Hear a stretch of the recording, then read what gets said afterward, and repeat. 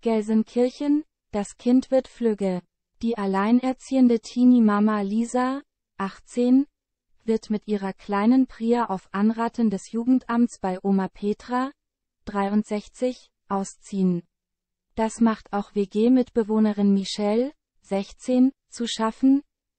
Bis zu acht Personen übernachten phasenweise in Petras 65 Quadratmeter Wohnung im Stadtteil Bulmke-Hüllen. Die Bezieherin von Grundsicherung und Witwenrente muss zwei Bewohnerinnen aber gehen lassen.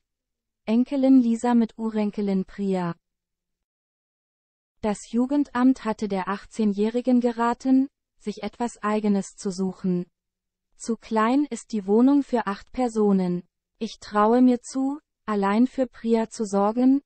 Sie ist pflegeleicht, da hab ich keine Probleme. Und sollte ich Probleme haben, fahr ich einfach zu Oma, sagt Lisa in den neuen Folgen der RTL ZWII Sozialdoku Harzrot Gold. Lisa will Priya später in einer Ganztagskita anmelden, um eine Ausbildung anzufangen.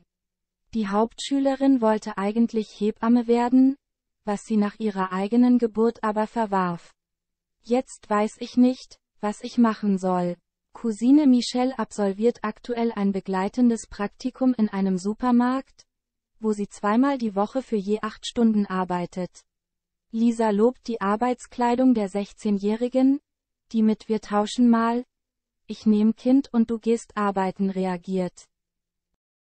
Harzrot-Gold, ich denke, dass das Jugendamt erwartet, dass die Wohnung immer sauber ist nicht nur die Miete in Höhe von 565 Euro, auch die Möbelerstausstattung für Lisas neue Wohnung im Stadtteil Schalke wird vom Jobcenter übernommen.